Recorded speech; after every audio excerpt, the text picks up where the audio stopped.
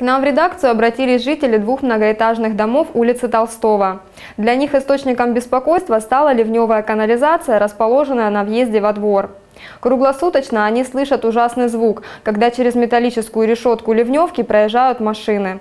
В проблеме разбирались наши корреспонденты. Активисты домов 156 и 158 по улице Толстого, показывая ту самую ливневую канализацию, говорят, что она уже давно не справляется со своей задачей. Изначально, как только нас заселили, вот, и постоянно здесь по колено воды. Она не спасает и не, и не спасет никогда, потому что ее нужно чистить периодически, хотя бы раз в год – Жители этих домов и так постоянно живут среди шума. Сказывается соседство с центральной районной больницей. С утра и до вечера сюда приезжают сотни машин. Одни сигналят, у других визжат тормоза. Довольно часто у автомобилей срабатывает сигнализация. Регулярно со включенной сиреной проезжает машина скорой помощи. А тут к вышеперечисленному добавился еще и грохот проезжающих по ливневке машин. Так, так решетки согнуты, помните, деформированы, да?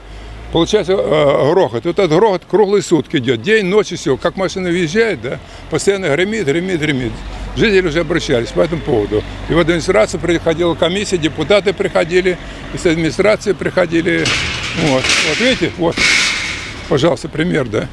Вот эти решетки, которые гремят, не, э, гремят так, что ну, в ушах закладывает, потому что мчатся машины, оттуда кто-то кто, -то, спокойно едет, кто-то мчится как сумасшедший. Тут все заставлено. Нам не проехать, не пройти здесь.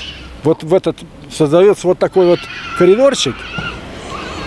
Приходится ехать по тем остриям колес, которые машины, точно по тем, потому что тут стоят машины рвутся колеса. Мы тоже обратились в городскую администрацию с вопросом, как можно исправить сложившуюся ситуацию. Надо отдать должное. На наше обращение отреагировали в тот же день. Спасибо большое. Мы очень благодарны э, редакции за помощь. Буквально на следующий день приехали ремонтники и все сделали нам.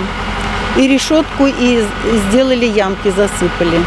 Спасибо большое. Еще многое предстоит сделать, но уже сейчас можно увидеть первые результаты проделанной работы. Все организации нужно было собрать, сначала отлить эти углы, которые отсыпаны. Это дорожные наши службы прекрасные, которые навели здесь порядок и сделали точечный ремонт дорожного полотна. А сварочные работы без них невозможно выполнить, потому что размер ливневки определенный. И именно в эти края нужно отсыпать и отливать асфальт желоб этот и улучшать верхнее покрытие асфальта. Тяжелая техника нагрузку производит на ливневку и осыпаются края. Для этого выполнены эти работы. Поставим знак, чтобы объезжали и забирали мусор с контейнеров другого входа 58-го дома по улице Толстого.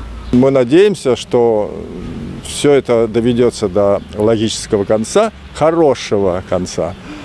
И тогда будем жить все приятно нам всем выходить, ездить. Спасибо вам большое. Вера Савельева, Сергей Чернецов. События и люди.